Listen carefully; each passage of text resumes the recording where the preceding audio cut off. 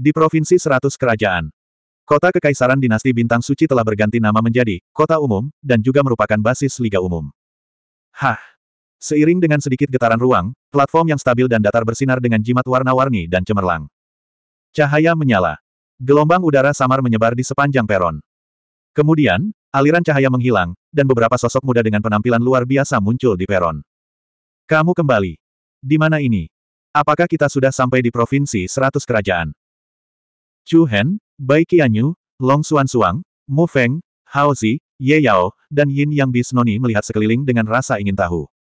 Mereka berada di alun-alun yang agak luas dan megah. Ada beberapa platform teleportasi lain di sekitar mereka. Ada tembok kota yang tinggi di sekitar alun-alun, dan itu tampak seperti halaman belakang kota utama. Pada saat ini, serangkaian langkah kaki tergesa-gesa mendekati mereka. Dia melihat beberapa penjaga lapis baja bergegas menuju mereka. Tuan, apakah Anda datang dari Gunung Kunliu? Saya ingin tahu apakah saya bisa membantu. Formasi teleportasi ini terhubung dengan Gunung Kunliu. Ditambah dengan aura luar biasa dari Chu Hen dan yang lainnya, orang-orang yang datang untuk menyambut mereka cukup hormat. Kamu tidak mengenalku, Chu Hen bertanya. Para penjaga saling memandang, mata mereka dipenuhi keraguan. Maaf, Tuan, saya baru memasuki Liga Umum kurang dari dua tahun. Saya bahkan tidak memiliki kualifikasi untuk berhubungan dengan banyak tuan dari Provinsi Timur yang menang. Pemimpin penjaga berkata dengan hormat. Aku mengerti, Chu Hen mengangguk sedikit, lalu bertanya, di mana kepala sekolah Jiang dan pemimpin fraksi Su. Penjaga itu tercengang. Pandangannya terhadap Chu Hen bahkan lebih bingung. Tuan, apakah Anda berbicara tentang mantan dekan Jiang dan Master Sekte Su Yurong? Mengapa, mereka tidak ada di sini? Kepala sekolah Jiang dan pemimpin fraksi Su pergi ke kota Kun di Provinsi Timur kemenangan tiga tahun lalu. Tuan, tahukah Anda? Kali ini giliran Chu Hen yang tercengang. Dia kemudian bertanya, bagaimana dengan Presiden Kiao dari Persatuan Pengukir? Presiden Kiao juga berada di kota Kun.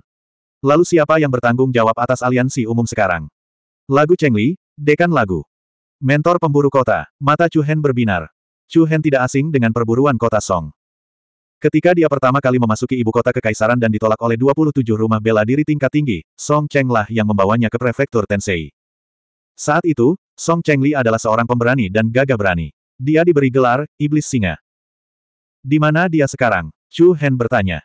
Din Song seharusnya sedang memimpin pertemuan di Persatuan Pengukir sekarang. Jika Tuan mempunyai masalah mendesak untuk didiskusikan dengannya, kami akan segera mengundangnya. Tidak perlu, biarkan dia menyibukkan diri dulu. Saya akan kembali lagi nanti. Chu Hen tersenyum. Hei, apakah ada susunan teleportasi yang terhubung ke Paviliun Pedang Surgawi? Mu Feng bertanya. Ya, Paviliun Pedang Surgawi dan aliansi umum kita adalah sekutu. Ada susunan teleportasi yang terhubung secara langsung. Hehe, sempurna. Cepat, biarkan aku menggunakannya. Mu Feng sangat ingin kembali ke rumah. Dia tidak sabar untuk berteleportasi kembali ke paviliun pedang surgawi. Apakah beberapa dari kalian ingin pulang ke rumah bersama Marsal ini? Mu Feng bertanya sambil tersenyum. Tidak apa-apa asalkan kamu cantik sendiri, jawab Ye Yao. Bagaimana dengan Hao Xi? Akan terasa canggung bagimu untuk mengikuti mereka sendirian. Haozi memutar matanya. Saya punya keluarga dan teman di prefektur seratus kerajaan. Baik-baik saja maka, aku akan pergi ke kota Kun untuk menemui kalian nanti. Dengan itu, Mu Feng melompat ke susunan teleportasi ke paviliun pedang surgawi di bawah bimbingan salah satu penjaga. Ke mana arah dua susunan teleportasi lainnya? Chu Hen bertanya dengan santai. Tuanku, salah satunya mengarah ke Sekte Seribu Bangau, dan yang lainnya mengarah ke Kota Langit, jawab penjaga itu dengan hormat. Dia berhenti sejenak, lalu melanjutkan, Sekte Seribu Bangau masih dipimpin oleh Master Sekte Kizang, tetapi dia menghabiskan sebagian besar waktunya di kota Kun di negara bagian kemenangan timur. Grand Cloud City tidak memiliki banyak kontak dengan aliansi umum kami, namun Master Sekte Su berulang kali memperingatkan kami sebelum kami meninggalkan kota Kun bahwa susunan teleportasi antara aliansi umum dan kota Grand Cloud adalah yang paling penting dan harus dijaga dengan baik. Jejak kehangatan muncul di mata Chu Hen saat mendengar ini. Dia bergumam pada dirinya sendiri, kakak ipar sangat perhatian. Sekte Seribu Bangau adalah sekte instruktur silan. Master Sekte Kizang juga merupakan kenalan lama Chu Hen. Bahkan tidak perlu menyebut Grand Cloud City.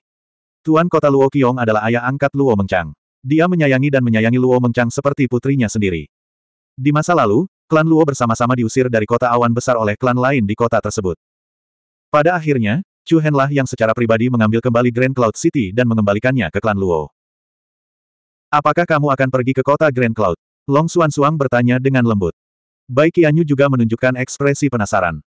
Namun, Chu Hen hanya menggelengkan kepalanya. Tidak untuk sekarang. Setelah itu, Mu Feng menuju ke Sky Sword Pavilion sendirian.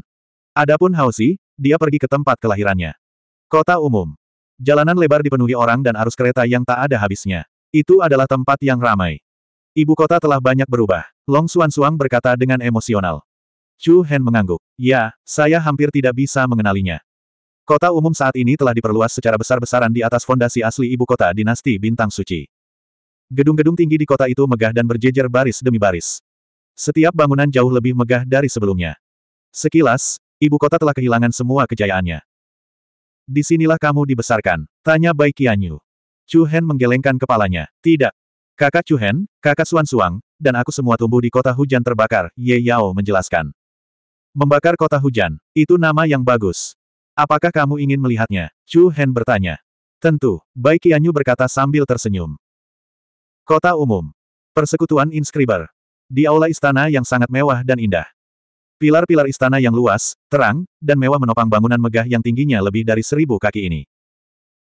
Din Song, utusan dari dinasti pedang sedang menunggu di ruang tamu pertama. Dan pangeran ketiga dinasti angin berkabut. Dia berharap mendapat tempat untuk pergi ke kota Kun di negara bagian timur kemenangan darimu.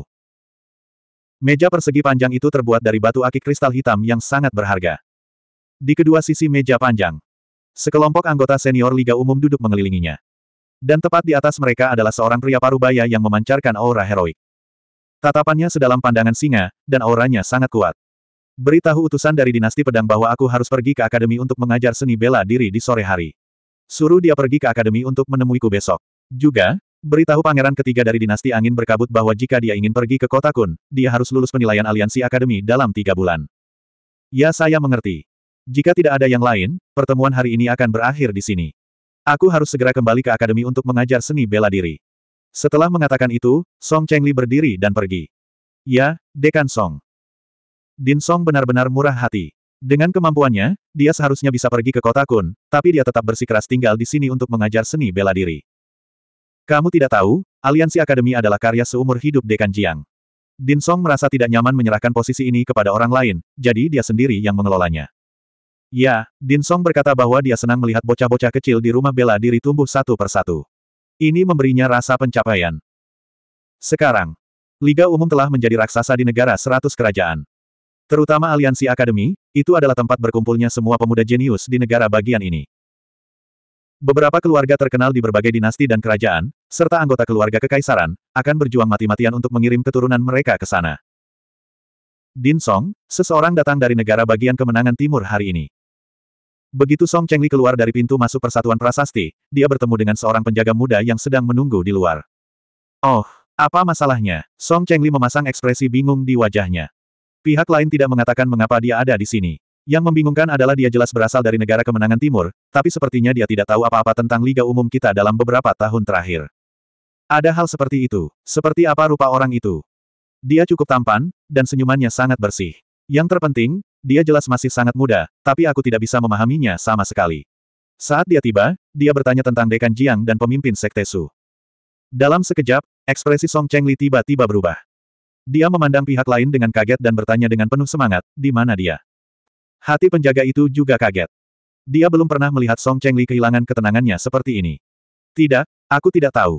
Dia hanya mengatakan bahwa dia akan datang dan menemuimu nanti. Kapan ini terjadi? Kenapa kamu baru memberitahuku sekarang? Melihat emosi Song Chengli yang gelisah, ekspresi penjaga itu menjadi sangat tidak nyaman.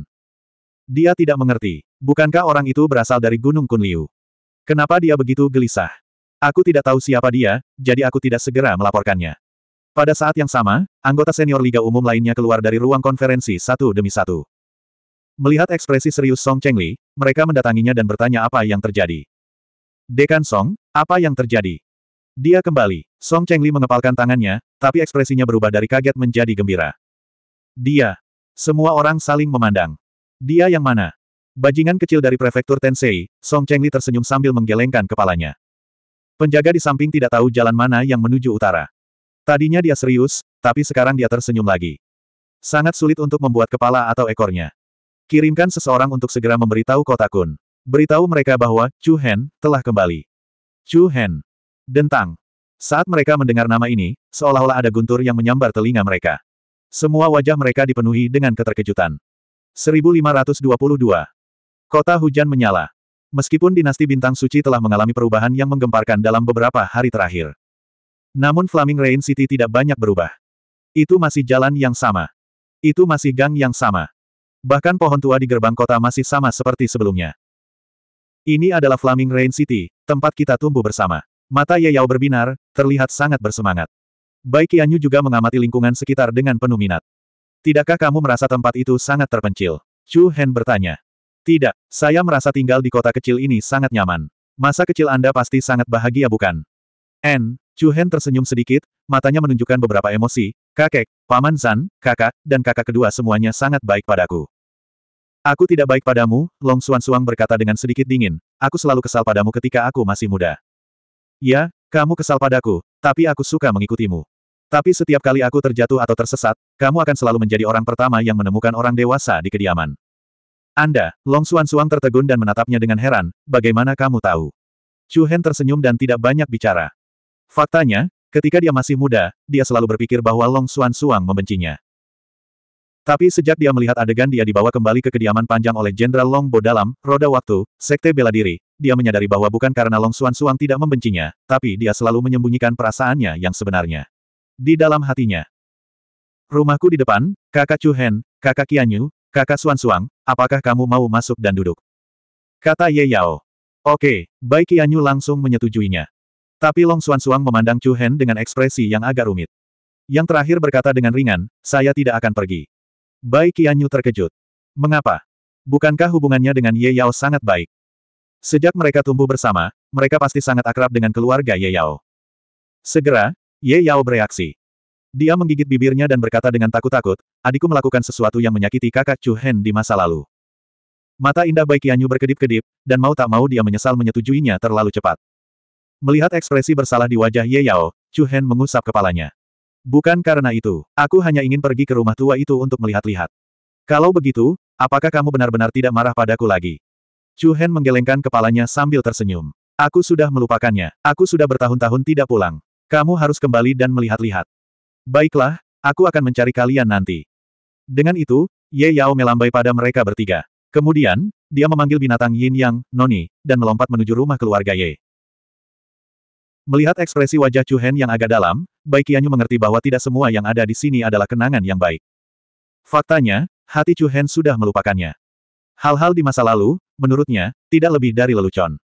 Namun, bagi sebagian orang, bukan karena dia tidak ingin bertemu mereka, tetapi memang tidak perlu. Aku kembali, ayah, ibu, saudara perempuan, gadis kecil termanis di keluargamu telah kembali. Begitu dia memasuki gerbang rumah Ye, Ye Yao berteriak sekuat tenaga. Mendengar keributan itu, para pelayan istana Ye segera berkumpul. Apakah nona kedua sudah kembali? Ini benar-benar nona kedua, aku tidak sedang bermimpi, kan? Ya Tuhan, nona keduaku yang malang, sudah berapa lama sejak terakhir kali kamu datang? Bibi ketujuh telah memimpikanmu kembali. Ye Yao berperilaku baik sejak dia masih kecil. Berbeda dengan kakaknya, Ye Yu, yang angkuh dan sombong, Ye Yao hampir tidak memiliki motif tersembunyi. Kebaikannya juga membuat Ye Mansion sangat menyukainya. Pada saat yang sama, di aula halaman depan, seorang wanita berusia 40-an berlari keluar lebih dulu. Yao, kamu kembali. Hahaha, ini aku. Ibu, apakah kamu merindukanku? Ya, tentu saja, aku merindukanmu, wanita itu adalah istri dari keluarga Ye, Nyonya Yeli. Dia maju dan memeluk Ye Yao, matanya merah. Yao, Ke mana saja kamu selama ini? Aku memikirkanmu setiap hari dan malam, berharap kamu akan kembali. Saya takut Anda akan mengalami kecelakaan di luar. Anda akhirnya kembali hari ini. Aku kembali sekarang. Pada saat yang sama, dua sosok keluar dari aula satu demi satu. Salah satunya adalah kepala keluarga, Ye King. Yang lainnya tinggi dan memiliki temperamen yang luar biasa. Itu adalah Ye Yu. Yao kecil. Kamu kembali. Ye King dan Ye Yu juga bergegas menyambut mereka. Ayah, Saudari, Ye Yao, yang digendong oleh Nyonya Yeli, melambaikan tangan kecilnya untuk menyambut mereka. Senang kamu kembali, senang kamu kembali. Wajah Ye King juga menunjukkan sedikit kegembiraan. Namun, Ye King tidak sebahagia yang dibayangkan. Ye Yu juga terlihat murung, seolah dia sedang memikirkan banyak hal. Apa yang terjadi di rumah? Kenapa kalian semua terlihat seperti ini? Melihat semua orang terlihat sedikit aneh, Ye Yao mau tidak mau melepaskan diri dari pelukan Nyonya Yeli, dan bertanya dengan bingung. Tidak ada, Tidak ada apa-apa, Ye King melambaikan tangannya, lalu berkata pada bibi ketujuh di sampingnya, Bibi ketujuh, pergilah menyiapkan hidangan dan camilan favorit Yao kecil, dan tutup pintunya lebih awal hari ini. Ya Tuan. Ayo, Yao kecil, cepat datang ke kamar. Ayah, mengapa menutup pintu lebih awal? Ini masih awal. Tidak apa-apa, ini hari yang membahagiakan, aku tidak ingin orang lain mengganggu keluarga kita. Setelah mengatakan itu, Ye King meraih tangan Ye Yao, dan masuk ke kamar bersama Ye Yu dan Nyonya Ye Li. Bang! Namun, begitu mereka masuk ke dalam kamar, pintu mansion yang tertutup itu langsung dibuka. Aku berkata, Hai kepala keluarga, ini baru lewat tengah hari. Mengapa Anda begitu ingin menutup pintu? Suara angkuh terdengar. Ye King, Ye Yu, dan yang lainnya mengubah wajah mereka. Ayo, bawakan barang-barang ini untukku, pria itu terus berkata. Kemudian, lebih dari selusin orang membawa beberapa kotak besar dengan angkuh ke halaman Ye Mansion. Ye King mengerutkan kening dan bertanya, Dao Kang, apa yang kamu lakukan di sini? Aku sudah mengatakan bahwa aku tidak akan menikahkan putriku denganmu. Haha, kamu kepala keluarga. Tidak, ayah mertua, pernikahan adalah masalah penting. Bagaimana kamu bisa menarik kembali kata-katamu? Untuk membiarkan Yeyu menerobos ke alam dunia yang mendalam, saya telah mengirimkan begitu banyak ramuan ke keluarga Anda. Anda telah menyetujuinya, dan sekarang Anda menarik kembali kata-kata Anda. Bukankah ini sebuah tamparan di wajahku? Pembicaranya adalah seorang pria muda berusia 20-an. Orang ini tidak jelek, dan pakaiannya cukup mulia, tapi sikapnya yang tidak tahu malu dan sombong benar-benar menjijikkan. Meskipun dia menyebut Ye King sebagai ayah mertua, kata-kata dan tindakannya tidak menunjukkan rasa hormat sedikitpun. Siapa orang ini? Ye Yao mengerutkan kening dan bertanya. Sayang, Nyonya Yeli menghela nafas dan menjawab dengan agak tak berdaya, Dao Kang, putra tertua keluarga Dao. Keluarganya cukup berpengaruh di kota jenderal. Setengah tahun yang lalu, dia bertemu adikmu.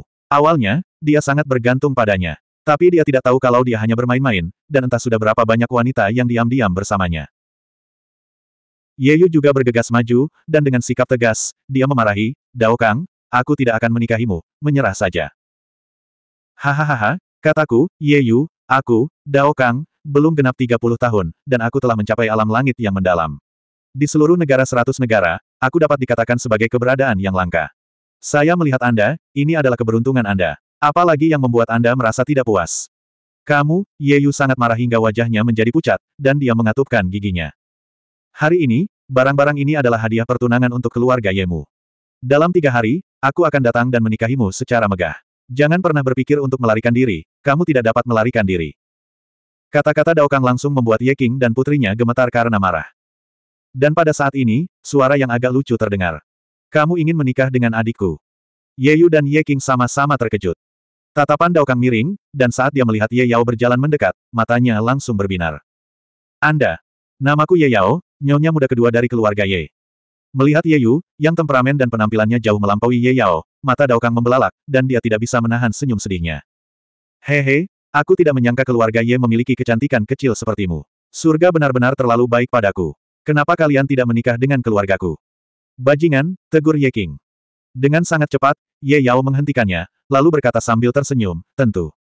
Benar-benar, Dao Kang menelan ludahnya. Tentu saja, tapi tadi hanya satu orang, dan sekarang ada dua orang.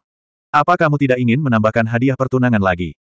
Tentu saja, aku sangat senang hari ini, jadi aku akan memberimu senjata suci peringkat sebagai hadiah pertunangan. Setelah mengatakan itu, Dao Kang mengangkat tangannya dan mengeluarkan bola merah kecil yang berkedip-kedip dengan cahaya yang mengalir. Bola kecil itu bersinar dengan lampu merah, dan gelombang energi tidak jelas beriak ke segala arah seperti riak air. Blazing Pearl, senjata suci peringkat. Apakah ini cukup tulus? Dao Kang berkata dengan bangga. Pada saat yang sama, dia diam-diam berpikir, pertama-tama aku akan menipu Ye Yao, dan kemudian aku akan mengambil kembali mutiara berkobar. Membunuh dua burung dengan satu batu, sungguh sempurna. Yao kecil, apa yang kamu lakukan? Ye Yu sedikit cemas. Namun, Ye Yao sedikit mendorong Ye Yu menjauh, dan dia mengangkat tangannya untuk mengambil mutiara berkobar dari tangan Dao Kang. Apakah ini senjata suci? Jangan bilang kamu berbohong kepada kami. Bagaimana mungkin, ini jarang terjadi di dunia ini. Retakan. Sebelum Dao Kang bisa menyelesaikan kata-katanya, mutiara berkobar di tangan Ye Yao sudah mulai retak. Itu palsu, itu akan hancur dengan satu sentuhan. Ye Yao membuka lebar matanya yang cerah, dan berkata dengan polos. Kemudian, dia dengan lembut mengepalkan tinjunya, dan di bawah tatapan kaget orang banyak, mutiara berkobar segera berubah menjadi bubuk merah. 1523 Bang! Melihat mutiara berkobar meledak menjadi debu di tangan Ye Yao, wajah keluarga Ye dan Dao Kang berubah. Kamu, Kamu, mata Daokang membelalak kaget. Ye Yao membersihkan tangannya dan menghilangkan bedak di telapak tangannya. Senjata suci yang lemah. Itu hancur dengan satu cubitan. Kamu, siapa kamu? Mata Daokang melebar, dan masih ada ketakutan di wajahnya. Menghancurkan senjata suci dengan begitu mudah, bahkan seseorang di puncak alam langit mendalam tingkat kesembilan tidak dapat melakukannya. Mungkinkah gadis muda di hadapannya ini adalah ahli puncak alam abadi kuno? Kamu baru saja mengatakan bahwa kamu adalah seorang super, super jenius dari alam langit yang mendalam. Apakah saya benar? Ye Yao pura-pura berhenti dan menggoda. Saat dia mengatakan itu, aura tak kasat mata terpancar dari tubuh Ye Yao. Bang, lutut Daokang ditekuk dan dia berlutut di tanah. Aiya, mengapa kamu berlutut? Untuk menikahi kami dua saudara perempuan, kamu begitu tulus. Aku malu. Ye Yao menutup mulutnya dan tertawa. Ye King, Ye Yu, dan yang lainnya terkejut. Wajah Daokang berubah. Dia merasa seperti sedang memikul beban yang berat. Belum lagi berdiri, dia bahkan tidak bisa bergerak. Hal yang paling menakutkan adalah Yuan sejati di tubuhnya sepertinya telah berhenti dan tidak dapat digunakan sama sekali. Cepat, bantu aku berdiri, teriak Daokang kepada bawahannya di belakangnya. Oh, ya. Semua orang buru-buru maju dan mendukung bahu Daokang saat mereka mengangkatnya. Namun, lutut Daokang sepertinya telah tumbuh dari tanah. Tujuh atau delapan orang kuat tidak mampu menggerakkannya sama sekali. Ye King, Ye Yu, dan anggota kediaman Ye lainnya terkejut dan bingung. Mereka memandang Ye Yao yang polos dan patuh dengan kaget. Sepertinya alam langit yang mendalam tidak seberapa. Saya pikir kamu kuat. Dengan itu, Ye Yao melambaikan tangannya. Bang, bang, bang, orang-orang di depannya semua terlempar keluar, dan mereka semua jatuh berantakan, kencing di celana karena ketakutan. Kamu, kamu, wajah Dao Kang memerah, dan dia berkata dengan kejam, aku tidak akan melepaskanmu. Biar ku beritahu, paman ketigaku adalah anggota tingkat tinggi dari Persatuan Umum. Setelah mendengar dua kata, aliansi umum, ekspresi anggota keluarga Ye berubah. Di sisi lain, Ye Yao bahkan lebih bahagia. Kebetulan sekali, saya kenal seseorang di aliansi jenderal. Mungkin Anda belum familiar dengan namanya. Dia dipanggil Chu Hen. Apakah kamu kenal dia? Ap, apa, Chu Hen, Chu Hen. Dentang. Dalam sekejap, Dao Kang dan yang lainnya menjadi pucat. Mereka semua sangat ketakutan sehingga mereka tidak tahu harus berbuat apa. Kamu, kamu kenal Chu Hen. Ya, terlebih lagi, Kakakku Chuhen ada di kota hujan terbakar. Aku akan pergi dan meneleponnya sekarang. Tidak, tidak, tidak. Aku tahu aku salah, aku tahu aku salah. Aku tidak akan mengganggumu lagi. Dao Kang sangat ketakutan. Dia bergegas berdiri dan menunjuk orang-orang di sekitarnya. Ayo, ayo, ayo. Hei, bukankah kamu bilang adikku berhutang padamu sejenis pil obat? Saya akan mengembalikannya kepada Anda di lain hari. Tidak, tidak, tidak. Kami tidak berhutang apa pun padamu. Kami tidak berhutang apa pun padamu. Kami pergi sekarang. Karena itu, Dao Kang dan yang lainnya berlari keluar dengan panik, menutupi kepala mereka dan bergegas keluar pintu seperti tikus yang ketakutan. Melihat Dao Kang dan yang lainnya yang ketakutan, semua orang di keluarga Ye merasa lega. Dalam beberapa bulan terakhir, mereka sangat ketakutan. Hari ini, akhirnya giliran mereka untuk berbalik. Di sisi lain, Ye King dan yang lainnya tidak percaya. Yao kecil, bagaimana bisa? Huff, katak seperti ini ingin menikahi saudara perempuanku, Ye Yao. Apa hebatnya seniman bela diri alam surga yang mendalam? Noni bisa membunuh banyak dari mereka hanya dengan satu cakar. Meong, binatang yin yang di sebelahnya merespons. Seniman bela diri dari alam surga yang mendalam bisa membunuh banyak dari mereka hanya dengan satu cakar. Ye King memandang Noni yang tergeletak di pinggir jalan, lalu menatap Ye Yao. Yao kecil, basis budidayamu. Jangan bilang kamu sudah mencapai tahap abadi kuno. Suara Ye King bergetar saat dia bertanya dengan ragu-ragu. Tahap abadi kuno. Tampaknya sedikit lebih tinggi dari tahap abadi kuno. Lebih tinggi dari tahap abadi kuno. Ye King dan Ye Yu saling memandang dan melihat ketidakpercayaan di mata satu sama lain. Mungkinkah? Aku sudah berada di panggung Saint King. Gemuruh. Seolah-olah mereka tersambar petir. Wajah Ye King dan putrinya langsung menjadi pucat. Benarkah? Suara Ye Yu bergetar dan tubuhnya gemetar gelisah. Ya, Ye Yao mengangguk. Terkejut. Ini merupakan kejutan yang belum pernah terjadi sebelumnya. Kita harus tahu bahwa bagi mereka dan bahkan seluruh negara seratus negara, apa yang disebut panggung Saint King hanya ada dalam legenda. Sejak zaman kuno, belum pernah ada tokoh dikdaya panggung Saint King di negara seratus negara. Sekarang, keluarga Ye mereka memiliki tokoh dikdaya tahap Saint King. Ye King mau tidak mau mengalami kesurupan seolah-olah dia sedang bermimpi. Apakah, apakah itu karena dia? Ye Yu bertanya ragu-ragu sambil mengatupkan giginya. Dia, yang dia maksud tentu saja adalah Chu Hen. Ya, itu semua berkat kakak Chu Hen aku bisa menerobos ke panggung Saint King. Bagaimana dengan dia? Jari-jari Yeyu mengepal dengan lembut. Ye Yao berhenti sejenak. Dia ragu-ragu sejenak, tetapi masih menjawab dengan lembut, kakak Chu Hen memiliki peringkat yang lebih tinggi dariku. Dentang. Guncangan yang terus-menerus membuat kulit kepala mati rasa. Ye Yu tidak bisa berdiri tegak lagi. Dia bahkan menyesal menanyakan pertanyaan ini. Bahkan Ye King tidak bisa menahan diri untuk tidak mengepalkan tinjunya. Matanya dipenuhi dengan keterkejutan dan emosi yang rumit. Dia ingat dengan jelas bahwa lebih dari sepuluh tahun yang lalu, pada malam berangin dan bersalju itu, Chu Hen, yang dijebak, menyeret dua noda darah panjang di tanah bersalju karena patah tendon di lengan dan kakinya. Itu juga karena saat itulah hubungan antara Ye Yu dan Chu Hen benar-benar putus. Jika bukan karena saat itu, mungkin situasinya akan berbeda. Dia menatap Ye Yao di depannya, matanya dipenuhi kerumitan yang tak terlukiskan. Adiknya sendiri. Dia telah melangkah ke panggung Saint King yang legendaris. Dan dia sendiri masih berjuang di level alam dunia yang mendalam. Ini adalah takdir. Kesenjangan ini. Tapi itu agak konyol. Itu benar-benar sebuah lelucon takdir. Dia, apakah dia benar-benar ada di Flame City? Ye King bertanya dengan suara yang dalam. Merasakan kegelisahan ayah dan adiknya, Ye Yao pun menghela nafas pelan. Saya mengundang kakak Chu Hen untuk datang ke rumah kami, tapi dia tidak datang. Tapi dia berkata bahwa masa lalu harus ditinggalkan di masa lalu. Mendesah. Ye King menghela nafas panjang. Satu langkah salah. Satu langkah salah. Siapa yang mengira bahwa anak laki-laki yang telah melihatnya tumbuh dewasa, tetapi tidak menyukainya, akan tumbuh sedemikian rupa saat ini. Panjang San, Long San, kamu membesarkan anak yang baik. Di jalanan kota api, Chu Hen dan Long Suan Suang sepertinya sedang berpikir keras. Ini adalah tempat yang paling mereka kenal. Itu juga merupakan tempat berkumpulnya keluarga mereka. Kupikir kamu sudah lupa, kata Long Suan Suang untuk memecah kesunyian. Chu Hen menggelengkan kepalanya sedikit, bagaimana aku bisa lupa, aku selalu ingat. Awalnya aku ingin kembali sendirian. Apa yang kamu bicarakan? Bai Qianyu bertanya dengan bingung. Chu Hen memandangnya dan berbisik, hari ini adalah peringatan 10 tahun kematian ayah angkatku. Mata indah Bai Qianyu berbinar, pantas saja kamu tidak pergi ke kota Kun, tapi kembali ke sini dulu. Chu Hen mengangguk. Pikirannya sepertinya kembali ke kejadian tahun itu di ibu kota. Untuk melindungi dirinya sendiri, Long Zhan bunuh diri di luar ibu kota. Dalam sekejap mata, sepuluh tahun telah berlalu. Segala sesuatu di Flame City sama seperti sebelumnya, tetapi orang-orangnya telah berubah. Waktu berlalu cepat, Long Suan Suang bergumam. Ya, dalam sekejap mata, sepuluh tahun telah berlalu. Dengan berat hati, mereka tanpa sadar berjalan menuju gerbang mansion yang mereka kenal. Masa lalu seakan kembali muncul di hati mereka. Sosok yang mengesankan, tinggi, tegas, dan hangat itu tanpa sadar muncul di hati mereka. Pada saat ini, Long Xuan Suang dan Chu Hen tercengang.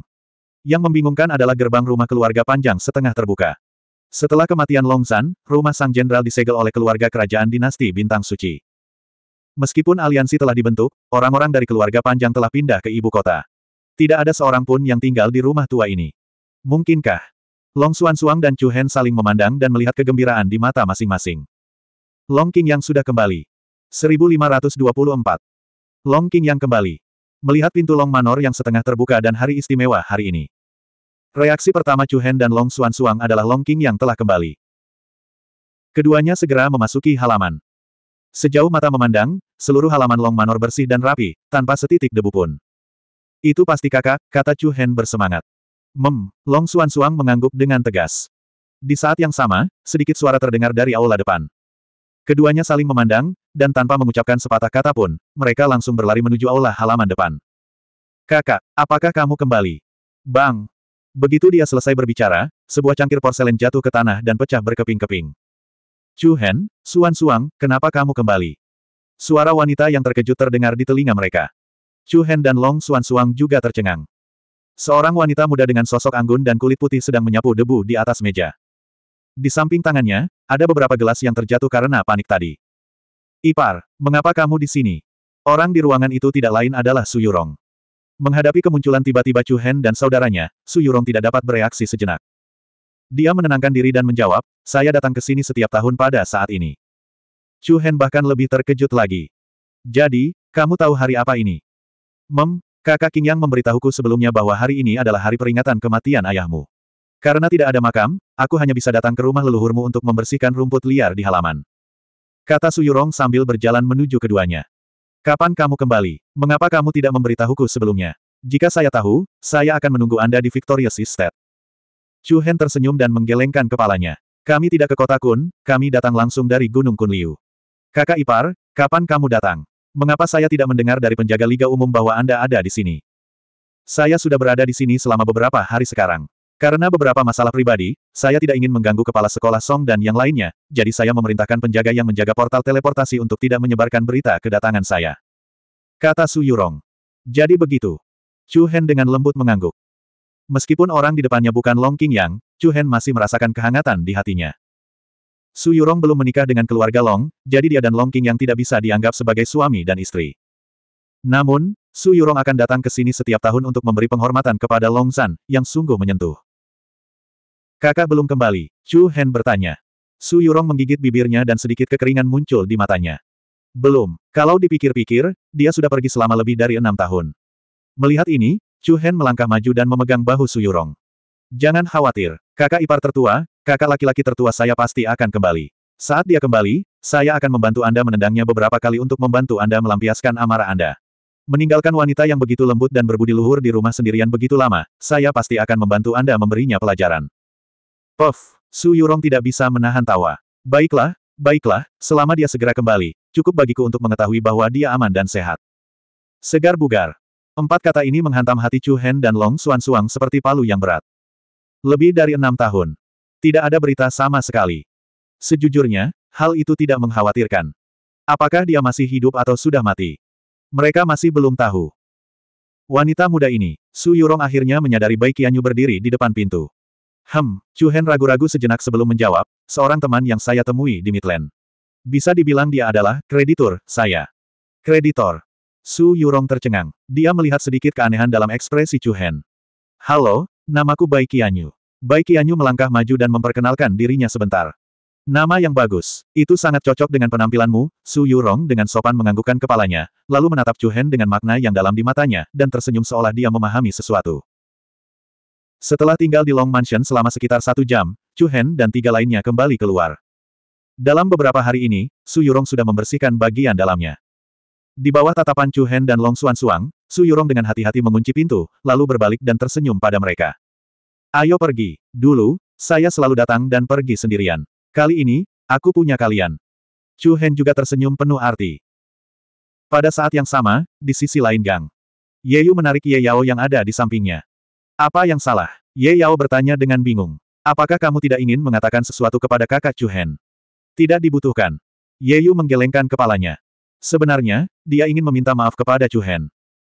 Tapi setelah melihatnya dengan matanya sendiri, dia merasa dia bahkan tidak punya hak untuk mengejar punggung Chu Hen.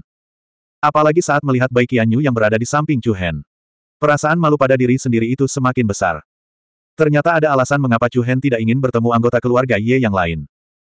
Ye Yu juga sepenuhnya percaya bahwa Chu Hen telah melepaskan masa lalu. Karena dia bahkan tidak punya hak untuk membuat Chu Hen peduli padanya lagi. Chu Hen dan tiga lainnya baru saja keluar dari Long Mansion. Sebelum mereka sempat mengambil beberapa langkah, sosok parubaya kekar menghalangi jalan mereka. Aku akhirnya menemukanmu. Bahkan Master Sekte Su ada di sini. Melihat orang di depannya, Chu Hen tersenyum cerah. Lama tak jumpa, pemburu Cheng. Bajingan kecil, aku sangat merindukanmu setelah bertahun-tahun. Song Cheng Li berjalan dan memeluk Chu Hen erat-erat. Chu Hen juga menepuk punggungnya. Terima kasih, Hunter Cheng, karena telah mengingatku. Hahaha, apa yang kamu bicarakan? Kamu secara pribadi dibawa ke rumah bela diri bintang surgawi olehku, Song Chengli. Jika bukan karena silan yang merenggutmu tahun itu, kamu pasti akan berada di tanganku. Saat menyebut, silan, mata Chu Hen dan Long Xuan Suang bersinar dengan sedikit kesepian. Namun, Chu Hen tidak menunjukkannya. Ayo pergi, pemburu Cheng. Ya, aku sudah memberitahu kota Kun. Mereka seharusnya segera mengirim seseorang ke sana. Tidak perlu, kami akan kembali ke negara bagian Dongsheng sekarang. Begitu cepat. Ya, semuanya di sini sudah beres. Itu bagus juga. Semua orang yang kamu kenal sekarang berada di kota Kun. Selain aku, semua orang telah pergi ke negara bagian Dongsheng. Kapan kota? Di aula megah yang jauh lebih mewah dari Istana Kaisar. Selamat datang kembali. Pemimpin Gunung Kun Liu, Gong Yang Yu, memandang pemuda yang sudah lebih dari empat tahun tidak dilihatnya dengan kegembiraan di matanya. Di belakangnya berdiri tiga penguasa aula Gunung Kun Liu. Mereka adalah pemimpin Balai Peri, Chi Hanyu, pemimpin Balai Pembantaian Iblis, Wen Liang, dan pemimpin Balai Void, Xie Wuhe. Setelah empat tahun, rasanya puluhan tahun telah berlalu. Melihat Chu Hen, yang temperamennya sangat berbeda dari sebelumnya, semua orang menghela nafas. Pemimpin Gong Yang Yu, bagaimana kabarmu? Tatapan Chu Hen tenang. Dia merasakan kebahagiaan bertemu dengan seorang teman lama selama bertahun-tahun, serta semacam ketenangan dan ketenangan yang terkendali. Aku dengar Chu Hen sudah kembali. Aku akan menemuinya. Setelah bertahun-tahun, dia akhirnya bersedia kembali. Di luar aula utama, serangkaian suara berceloteh terdengar dari jauh. Adik Chu Hen, kamu benar-benar kembali. Seorang pria muda dengan aura yang kuat menyerbu masuk, matanya bersinar. Kakak senior Sansen. Selamat datang kembali, kata seorang gadis yang lembut dan cantik. Lama tidak bertemu, kakak senior Lingyan. Wow, Chu Hen, ini benar-benar kamu. Aku sangat merindukanmu. Sosok imut segera melemparkan dirinya ke pelukan Chu Hen, memeluknya sambil berteriak kaget. Chu Hen terdiam. Huaxue, ada banyak sekali orang di sekitar sini. Aku tidak peduli. Aku bosan setengah mati saat kamu tidak ada. Orang-orang ini tidak semenyenangkan kamu. Pada saat yang sama, Fu Qin, Zisu, dan Nong Qi masuk.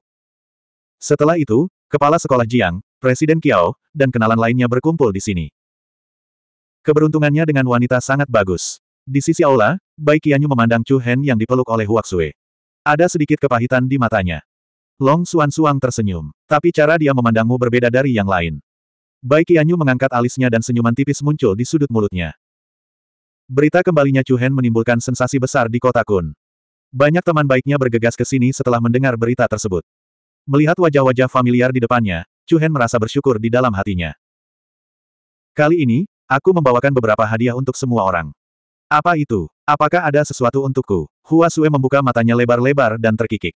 Tentu saja. Dengan itu, Chu Hen melambaikan tangannya. Suara mendesing. Cahaya menyilaukan menyala, menyebabkan pupil semua orang mengecil. Saat berikutnya, beberapa kotak muncul di aula. Ekspresi ketiga Hall Master berubah. Bahkan Gong Yang Yu tidak bisa menahan diri untuk tidak menyipitkan matanya. Ini. Ilahi, senjata ilahi. Semua orang tidak bisa menahan diri untuk tidak mengepalkan tangan mereka saat mereka merasakan fluktuasi energi yang kuat yang datang dari senjata-senjata itu. Senjata ilahi. Ramuan. Gulungan kuno. Masing-masing barang mempesona ini tidak terlihat seperti barang biasa. Kejutan yang belum pernah terjadi sebelumnya memenuhi wajah semua orang. Ini, ini semua, dan Zen tidak percaya. Ya, Chu Hen mengangguk. Semuanya untukmu. 1525. Kota Kun memang dibangun seperti surga di bumi. Bahkan lebih megah dari yang kubayangkan. Di malam hari, Chu Hen dan Gong Yang Yu berdiri di tembok kota utama kota Kun. Melihat kota megah di depan mereka, mata Chu Hen dipenuhi dengan keheranan. Puncak utama Sekte Gunung Kun Liu terletak di sisi utara kota Kun. Di selatan gerbang gunung adalah kota Kun.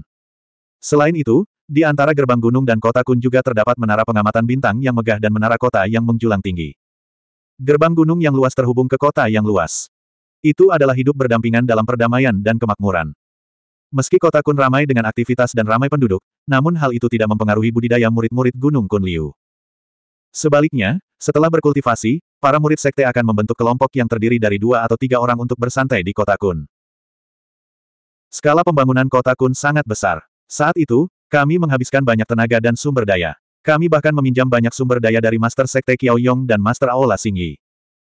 Melihat menara kota megah yang membentang sejauh mata memandang, Gong Yang Yu memiliki ekspresi pencapaian di wajahnya. Kota Kun mencakup wilayah yang luas. Kota-kota besar dan kecil serta kota-kota luar berjejer baris demi baris. Penampilan seperti ini adalah sesuatu yang bahkan tidak bisa dibandingkan dengan sepuluh istana suci guntur. Jika saya tidak salah, ini seharusnya menjadi rencana pembangunan Aula Master Chi Hanyu, kan? Kata Chu Hen. Gong Yang Yu terkejut. Kamu bahkan bisa menebak ini. Hahaha, Chu Hen tertawa terbahak-bahak. Aula Master Chi sengaja membangun sekte di samping kota Kun. Bukankah ini untuk menyiapkan tempat yang ramai bagimu untuk bersenang-senang? Hah! Gong Yang Yu terdiam. Bagaimanapun, dia memiliki sejarah kelam. Saat itu, Gong Yang Yu baru mengambil alih sebagai Master Sekte Gunung Kun Liu selama beberapa bulan sebelum dia menyelinap keluar dan bersenang-senang sendirian. Oleh karena itu, keempat wanita, Qin, Qi, Su, Hua, dan Qin, dengan susah payah mencari Gong Yang Yu. Pada akhirnya, karena kombinasi beberapa faktor yang aneh, Gong Yang Yu tidak menemukannya dan malah menyeret Chu Hen ke Sekte Gunung Kun Liu. Tentu saja, setelah berbicara dengan Gong Yang Yu, dia mengetahui bahwa sebenarnya Gong Yang Yu lah yang bertaruh dengan Liu Xiang. Pada akhirnya, ia kalah taruhan, itulah sebabnya ia memberikan posisi Gunung Kun Liu kepada Chu Hen. Alasan Liu Xiang melakukan itu kemungkinan besar membuat Chu Hen meninggalkan negara seratus bangsa yang kecil itu.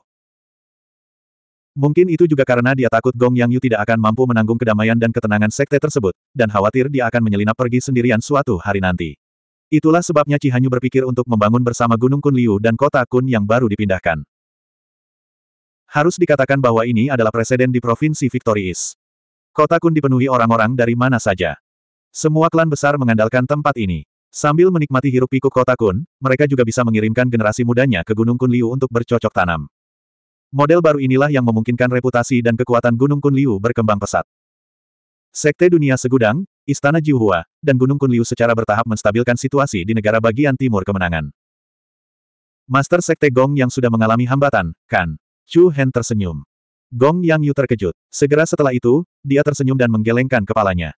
Aku benar-benar tidak bisa menyembunyikan apa pun darimu. Aku sudah terjebak di puncak alam kuno-kuno selama hampir satu tahun sekarang, dan aku bahkan tidak bisa merasakan titik kritis untuk menerobos. Tapi kali ini, kamu membawa begitu banyak obat mujarab, jadi kamu seharusnya bisa menembus kemacetan itu. Chu Hen mengangguk. Memang benar, dibandingkan dengan Midland, provinsi kemenangan timur ini terlalu kecil. Di wilayah timur, terdapat banyak sekali provinsi dengan berbagai ukuran. Saat itu, kultivator alam abadi kuno terkuat di negara bagian kemenangan timur bahkan tidak layak disebut oleh dirinya saat ini. Saya ingin tahu apakah saya harus mengirimkan sesuatu kepada pemimpin Sekte Kiao dan Master Balai Sing, kata Gong Yang Yu. Bagaimanapun, mereka semua dibawa oleh Chu Hen, jadi wajar baginya untuk meminta pendapatnya sebelum dia mengirim mereka keluar. Tidak perlu, mereka semua punya. Jawab Chu Hen. Keduanya. N. Sebelum kembali, Chu Hen membagikan selusin kotak harta karun yang dikirim oleh Wang Li dan Wu Yan kepada Kiao Xiaowan, Han Yikuan, dan Mu Feng, memerintahkan mereka untuk membawanya kembali ke sekte masing-masing. Dalam kata-kata Mu Feng, itu adalah pulang ke rumah dalam kemuliaan. Bagaimanapun, mereka semua adalah teman yang telah melalui hidup dan mati bersama, jadi Chu Hen tentu saja tidak akan mengabaikan siapa pun. Pantas saja Kiao Yong dan Xing Yi belum datang ke sini. Sepertinya mereka sedang bersiap untuk mundur untuk menerobos ke alam Raja Suci. Gong Yang Yu tidak bisa tidak mengerti. Sebelumnya, dia mengira itu aneh. Secara logika, berita kembalinya Chu Hen telah sampai ke Sekte Seribu Dunia dan Istana Jihua. Dengan kepribadian Kiao Yong dan Xing Yi, mereka pasti akan datang ke kota Kun. Jika mereka tidak segera datang, mereka hanya akan tertunda dalam mengembangkan kehendak mereka. Aku tidak bisa menunggu lebih lama lagi, kata Gong Yang Yu dengan ekspresi penuh harap.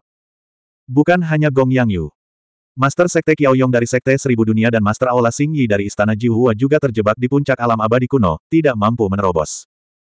Jika ada yang bisa menerobos ke alam Saint King terlebih dahulu, keseimbangan tiga arah di Provinsi Timur Kemenangan akan rusak.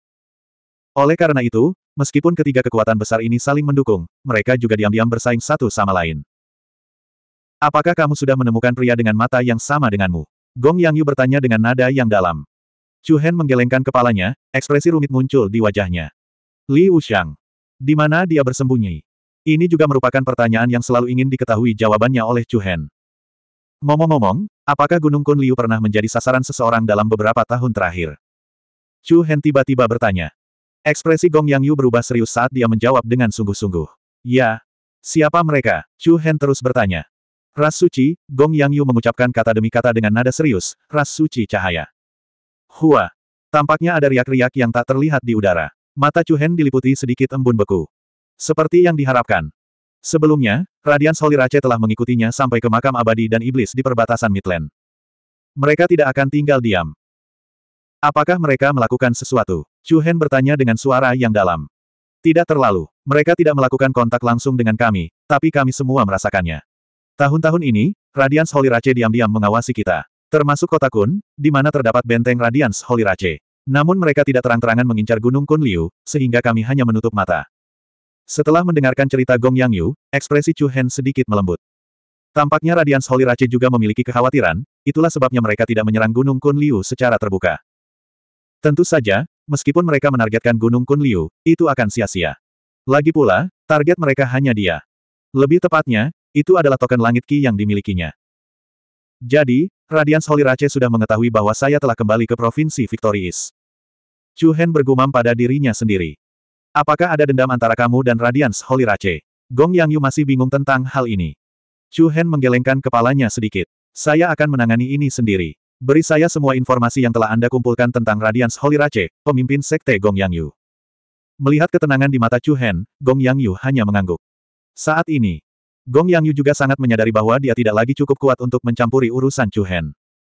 Kalau begitu aku akan bergegas dan mengasingkan diri. Saya akan mencoba menerobos ke alam Saint King sesegera mungkin.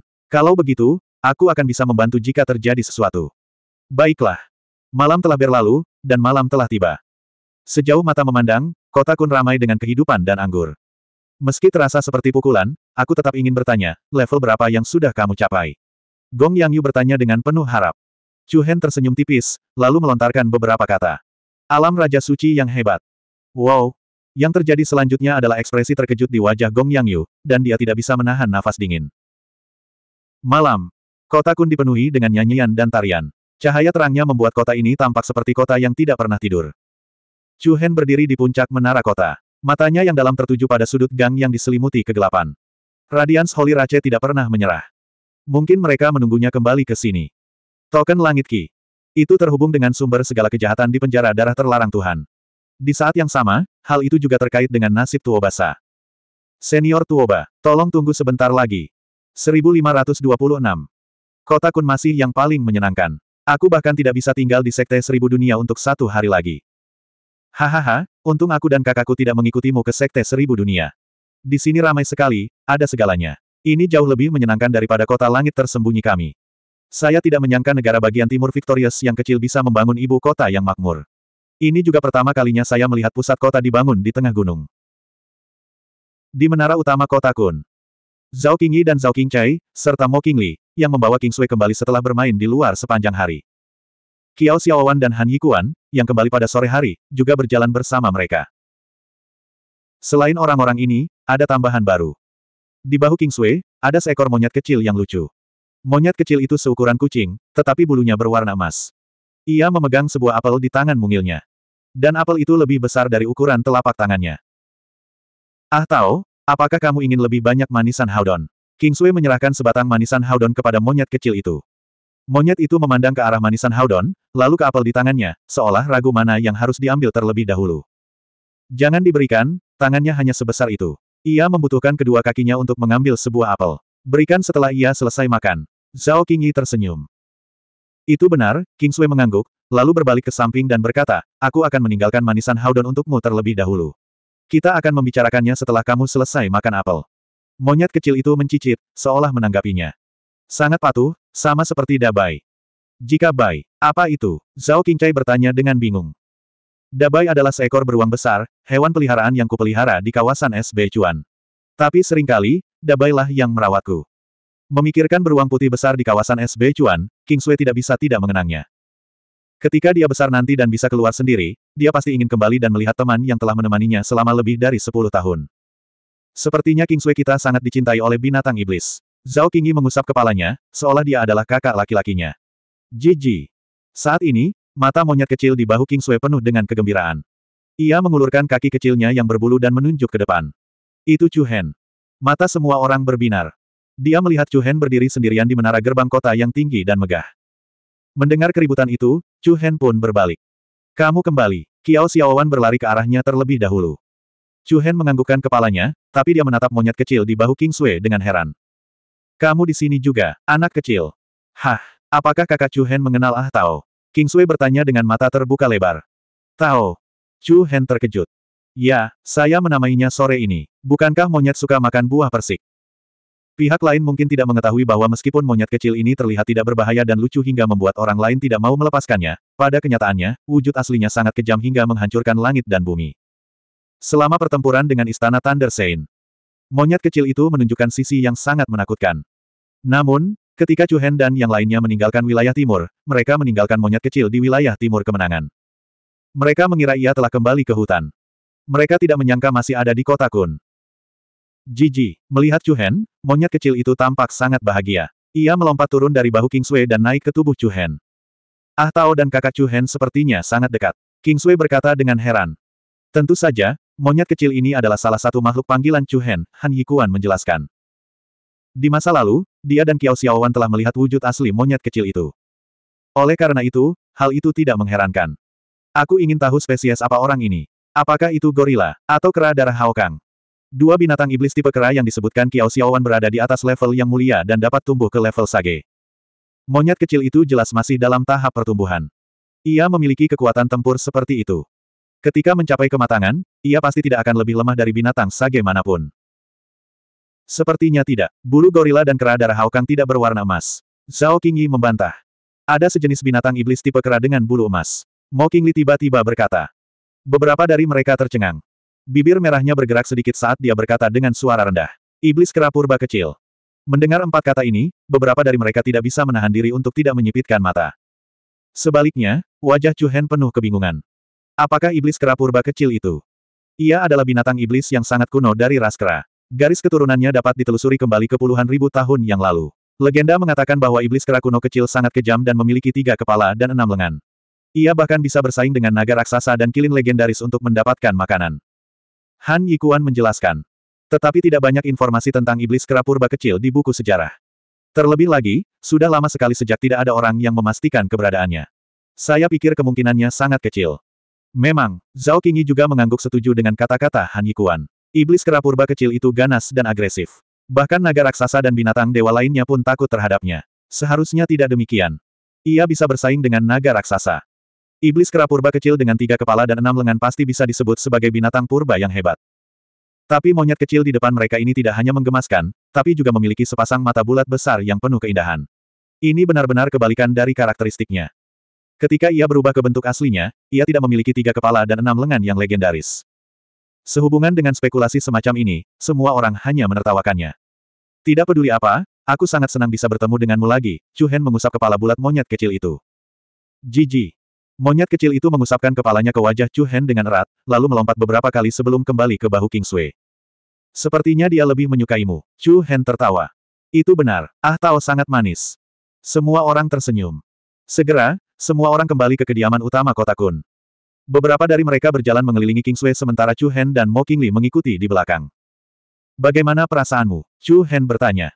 Mo Qingli tersenyum ringan. Tidak apa-apa. Setelah berinteraksi dengannya, ternyata tidak secanggung yang kubayangkan. Itu bagus. Dia sedikit istimewa. Saat ini, kata Mo Qingli. Mengikuti arah tatapannya, Chu Hen melihat ke arah sosok polos dan menggemaskan yang sedang disayangi oleh beberapa orang.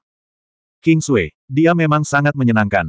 Tidak hanya suka, dia memiliki aura yang membuat orang merasa dekat dengannya. Dia tidak hanya menarik perhatian orang biasa, dia juga menarik. Binatang buas. Chu Hen terkejut, tapi dia segera menyadari bahwa selain dia, Mo Qingli tidak berkomunikasi dengan orang lain.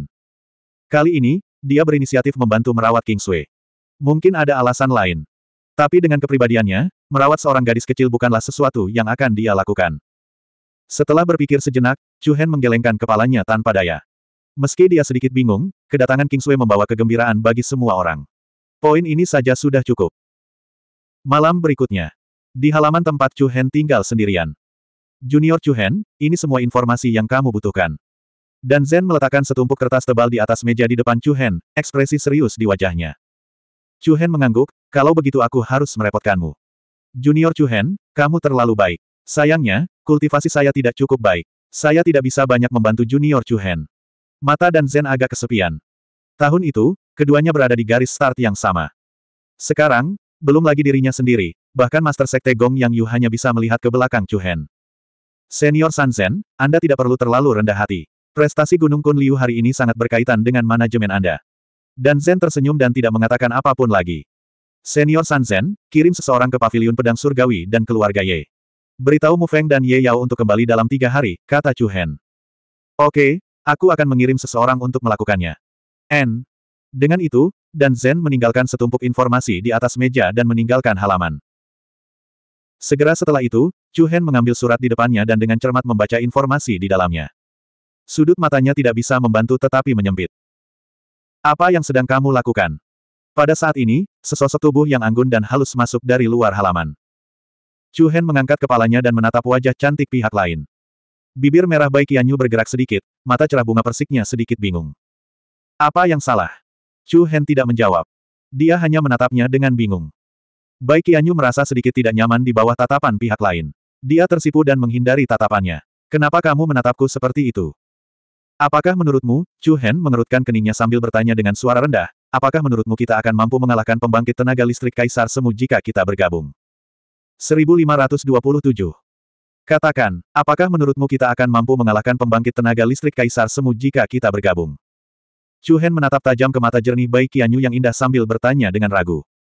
Hah! Bai Qianyu tercengang mendengar kata-kata Chu Hen. Matanya yang indah mengembara saat dia bergumam dengan suara rendah, dan di sini aku bertanya-tanya apa itu.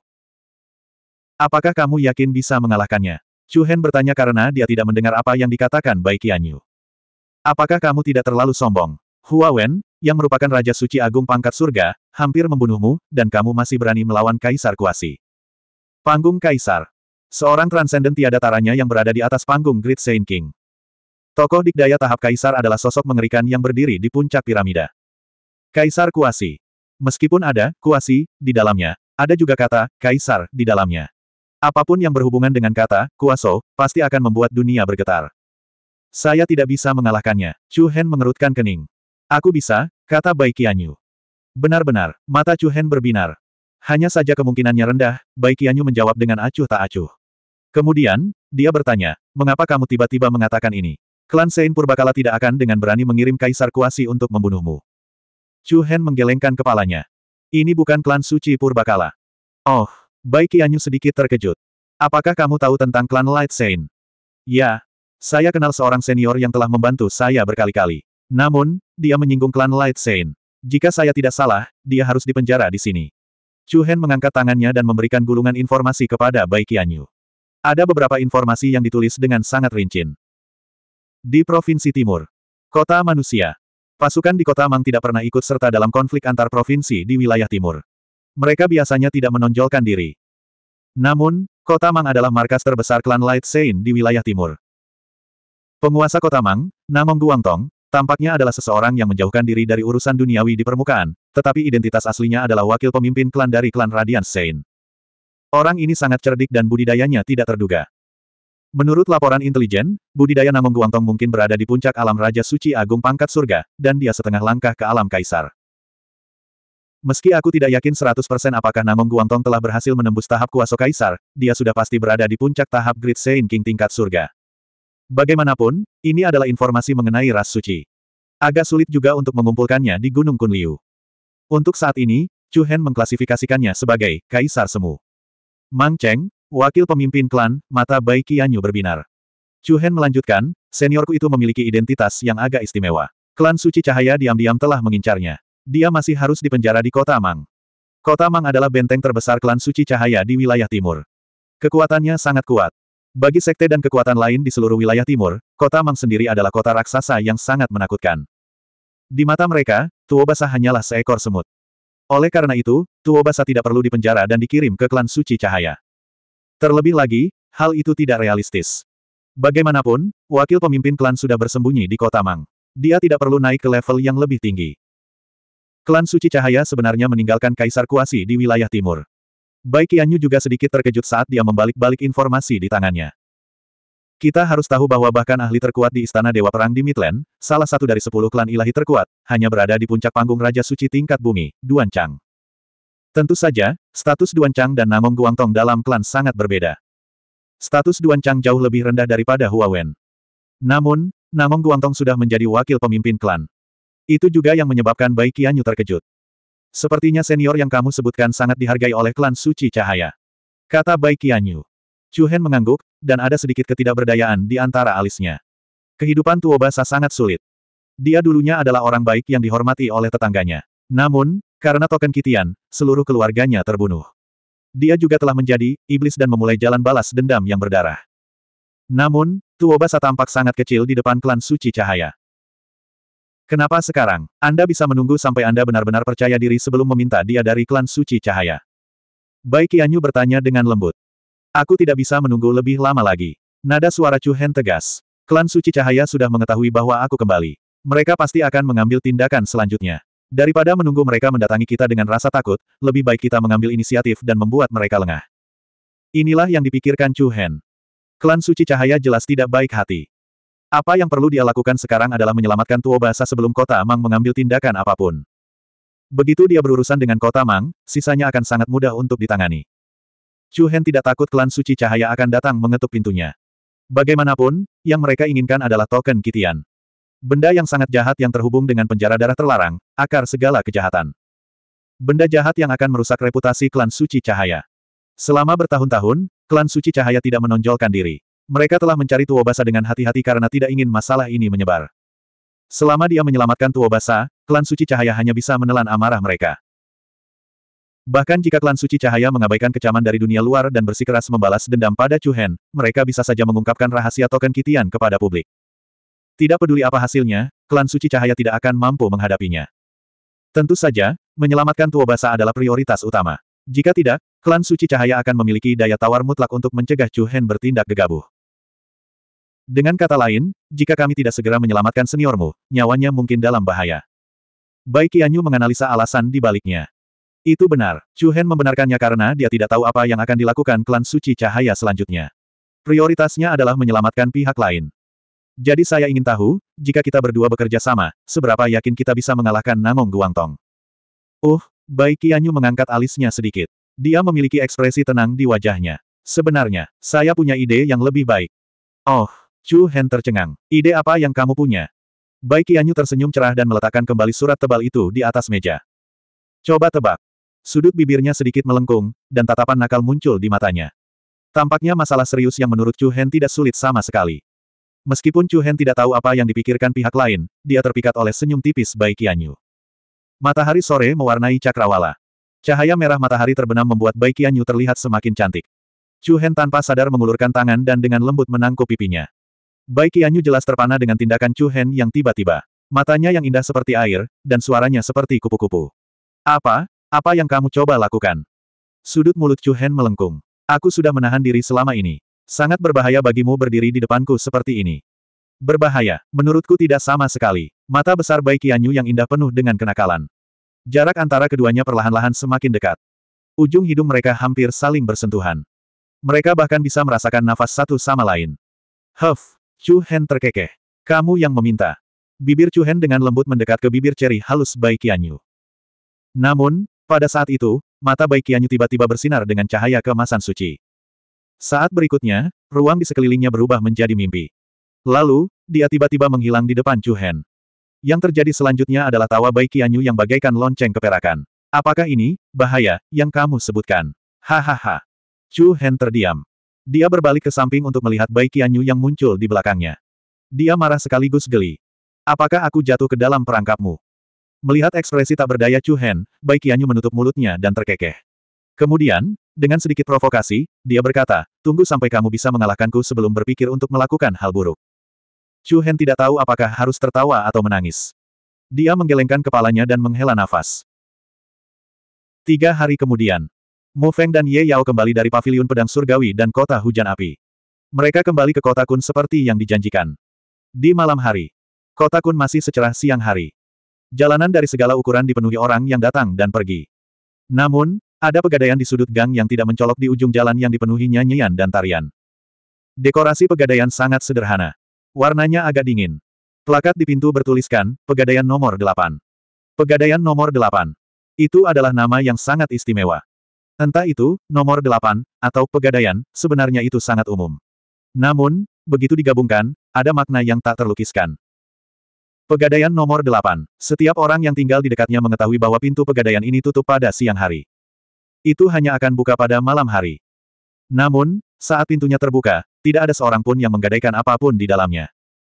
Bahkan jika seseorang masuk, mereka akan segera kehabisan. Namun, pada hari ini, sekelompok tamu tak diundang masuk ke pegadaian yang sangat sepi ini. Maaf, pegadaian kami tidak melakukan bisnis. Silakan pergi. Seorang pria berusia kurang dari 30 tahun mengulurkan tangannya dan menghalangi jalan orang banyak. Suaranya yang dingin dan acuh tak acuh tidak bercampur dengan kesopanan apa pun. Kata-katanya bukanlah sebuah diskusi, tapi sebuah perintah. Hehe, kalau pegadaian tidak berbisnis, lalu apa gunanya dibuka? Pemuda yang masuk tertawa ringan. Apakah kami berbisnis atau tidak, tidak ada hubungannya denganmu. Jika kamu tidak ingin terluka, segera pergi. Nada bicara pria itu masih dingin. Hehe, sakit. Kenapa kamu tidak mencobanya? Mencari kematian. Bang! Sebuah ledakan besar terdengar. Meja dan kursi di pegadaian langsung hancur berkeping-keping. Bersamaan dengan sosok malang itu, dinding pegadaian pun langsung dipenuhi retakan mirip sarang laba-laba. Anda! Pria itu memegangi dadanya dengan satu tangan, darah mengalir dari sudut mulutnya. Wajahnya penuh kejutan. Ekspresi orang lain di pegadaian juga berubah. Kamu, siapa kamu? Orang yang kamu cari. Apa, Anda? Benar, aku, Chu Hen. 1528. Benar, Aku Chu Hen. Di pegadaian ke-8, seluruh bangunan berguncang hebat. Serpihan batu dengan berbagai ukuran jatuh ke tanah dari celah-celah dinding. Dalam sekejap, semua orang di pegadaian memasang ekspresi muram di wajah mereka. Mata mereka dipenuhi keganasan. Apa yang kamu maksud dengan Chu Hen? Chu Hen, aku tidak kenal dia, pria yang memimpin itu mengomel. Huff, sudut mulut Chu Hen melengkung. Suruh manajermu keluar dan berbicara denganku. Heh, kamu tidak memiliki kualifikasi. Bang! Sebelum pria itu menyelesaikan kalimatnya, dia sekali lagi terbanting ke dinding di belakangnya. Puing-puing beterbangan ke mana-mana dan tembok itu runtuh dengan cepat. Kemudian, seolah-olah ada tangan tak kasat mata yang mencengkeram leher pria itu dan perlahan mengangkatnya. Kamu, pria itu melayang di udara seperti kepiting yang sedang dipancing, mengayunkan anggota tubuhnya. Ketika yang lain melihat ini, mata mereka mengeras dan mereka ingin menyerang Chu Hen dan yang lainnya. Biarkan dia pergi. Beraninya kamu datang ke sini dan berperilaku kejam. Kamu mendekati kematian. Saat ini, suara yang kuat dan berat datang dari lantai dua pegadaian. Berhenti. Berdengung.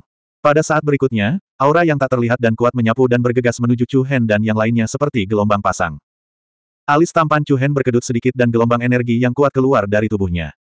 Boom, dengan suara keras, retakan yang sangat dalam muncul di tengah-tengah pegadaian. Semua orang di pegadaian terguncang dan mundur beberapa langkah. Pada saat yang sama, langkah kaki yang mantap terdengar dari tangga lantai dua. Kamu akhirnya mau keluar. Kata Chu Hen sambil tersenyum ringan. Sambil berpikir, pria sombong yang melayang di udara itu langsung terlempar keluar. Baru setelah menghancurkan beberapa vas bunga dan hiasan berharga dia berhenti. Langkah kaki itu semakin dekat. Di bawah pengawasan semua orang, sesosok tua kurus dan tinggi berpakaian preman muncul di sudut tangga. Tuan Tua Chu, mengapa kamu di sini? Setelah melihat orang ini, Kiao Xiaowan tidak bisa menahan diri untuk tidak berteriak. Han Yikuan juga terkejut. Tua, Pak Tua Chu, Anda, Anda berasal dari klan Suci Cahaya. Jelas sekali, Kiao Xiaowan dan Han Yikuan mengenal orang di depan mereka. Ini adalah pertama kalinya Chu Hen bertemu dengannya. Pihak lain bertubuh tinggi dan kurus. Matanya tenang seperti air di sumur. Kalian berdua kenal dia, Mu Feng bertanya. Ya, Kiao Xiaowan mengangguk. Dia teman baik si Fuku. Mereka berdua sering bermain catur bersama. Tuan Chu adalah penguasa kota Medical Sage City. Dia telah membantu banyak orang sepanjang hidupnya. Mengapa dia terlibat dengan Light Secret Rache? Han Yikuan juga bingung. Karena dia adalah antek dari ras suci cahaya, akankah si Fumu? Mu Feng bertanya dengan hati-hati. Kiao Xiaowan dan Han Yikuan saling berpandangan, merasa berkonflik. Kota Sage Medis. Itu sangat terkenal di East Victory State. Keterampilan medis Tuan Kota He sangat luar biasa. Menurut dunia, selama Anda masih bernapas, Tuan Tua He bisa menyelamatkan Anda. Tidak hanya itu. He berhubungan baik dengan Master Sekte Kiao Yong dari Sekte Seribu Dunia dan Xing Yi dari Istana Jihua. Jika kota Sage Medis juga merupakan cabang dari kubur ras suci cahaya di negara bagian kemenangan timur, orang-orang pasti akan mencurigai Sekte Seribu Dunia dan Istana Jihua. Namun, Menurut pendapat Chu Hen, Master Sekte Kiao Yong dan Master Aula Xing Yi tidak ada hubungannya dengan ras suci cahaya. Bagaimanapun juga, ras suci cahaya itu sombong. Itu sudah cukup untuk mendirikan Medical Sage City di East Victory State yang kecil. Saya sedikit terkejut Anda datang langsung kepada saya. Chu Qinghe berdiri di tengah tangga dan menatap Chu Hen di depannya. Aku juga terkejut bahwa kamu adalah seseorang yang temanku kenal. Aku hanya melayani tuanku sendiri. Saya telah bersembunyi selama bertahun-tahun, tetapi pada akhirnya Anda masih menemukan saya. Nada suara Chu Qinghe sangat tenang. Seolah-olah dia sudah terbiasa melihat badai dan ombak. Dia memandang Chu Hen, mengangguk sedikit, dan berkata, saat itu, ketika saya mengirim, Yin Kuan, dan King Xiong, untuk mengusir Anda keluar dari wilayah timur, dan tidak satupun dari mereka kembali untuk melapor, saya seharusnya sudah menebaknya. Hari ini akan tiba. Hehe, sudut mulut Chu Hen bergerak-gerak. Ini benar-benar menakutkan. Jumlah ahli yang disembunyikan di kota suci medis yang tampaknya biasa bahkan lebih besar daripada jumlah gabungan tiga kekuatan besar di negara bagian Victory East. Sekte Seribu Dunia, Istana Jiuhua, dan Gunung Kunliu. Mereka dikenal sebagai tiga kekuatan besar di negara bagian ini, namun empat tahun lalu, kekuatan gabungan mereka tidak dapat menandingi kota Sage Medis. Untuk menemukan keberadaan token Kitian, dalam klan Light Saint telah memperpanjang pencariannya sejak lama. Aku meremehkanmu. Mata tua Chu Qinghe melonjak tajam. Ini kesalahanku. Saat Chu Hen meninggalkan wilayah timur. Dia mengirim dua bawahannya yang paling cakap untuk memburu Chu Hen, yang hanya berada di alam mendalam surga tingkat ketujuh. Ada juga banyak penjaga klan Light Saint yang mengikutinya. Secara logika, Chu Hen seharusnya sudah mati. Bahkan sepuluh Chu Hen tidak akan bisa melarikan diri. Namun pada akhirnya, mereka mengejarnya sampai ke kota Pulau Paus hingga makam dewa dan iblis di perbatasan Midland. Mereka tidak menangkap Chu Hen, dan orang-orang yang mereka kirim semuanya terbunuh. Faktanya, Kebetulan Chu Hen bertemu Bai Qianyu di makam dewa dan setan. Jika Bai Qianyu tidak menjaga King Xiong dan orang lain yang mengejarnya, Chu Hen tidak akan bisa mengikutinya. Kamu ingin menebus kesalahanmu sekarang. Chu Hen tersenyum penuh minat. Namun, Chu King He hanya tersenyum tipis. Aku hanya seorang Saint King belaka. Bagaimana aku bisa menjadi tandingan Saint King Agung sepertimu? Saya telah mendengar sedikit tentang apa yang telah Anda lakukan di Midland. Klan Light Saint adalah klan Light Saint. Apa yang terjadi di Midland belum mencapai wilayah timur, tapi klan Light Saint telah menerima beritanya. Karena Tuan Kota Chu tidak mau melawanku, maka kamu akan membawaku ke suatu tempat. Kata Chu Hen dengan tenang. Oh, Chu Qinghe mengangkat mata lamanya dan menatap Chu Hen dengan penuh arti. Jangan bilang kamu ingin pergi ke kota Mang di prefektur dalam wilayah timur. Ya, saya membutuhkan Tuan Kota Chu untuk memimpin secara pribadi. Hahaha, Chu Qinghe tertawa dengan sedikit ejekan dalam tawanya. Orang yang kamu tangkap dikurung di kota Mang, kan? Chu Hen bertanya dengan dingin. Hehe, karena kamu ingin pergi ke kota Mang, tidak ada salahnya aku memberitahumu. Iblis itu memang dikurung di penjara Skywell kota Mang. Namun, karena kamu dapat menemukan jalan ke sini, wajar saja jika kamu sudah menyelidiki kota Mang.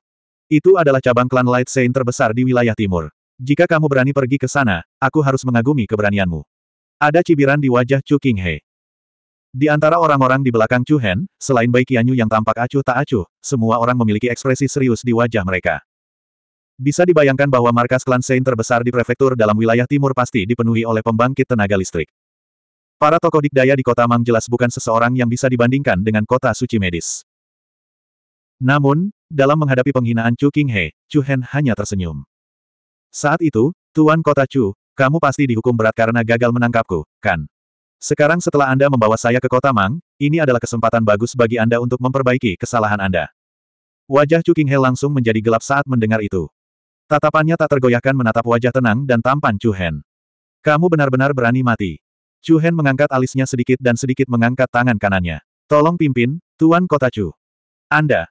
Pada akhirnya, Chu Qinghe tidak bisa mempertahankan ketenangannya. Dia mengepalkan tinjunya rat-rat karena dia merasa bahwa dia tidak bisa melihat menembus pemuda di depannya sama sekali. Kemampuan apa yang dia miliki? Beraninya dia masuk tanpa izin ke kota Mang untuk menuntut orang.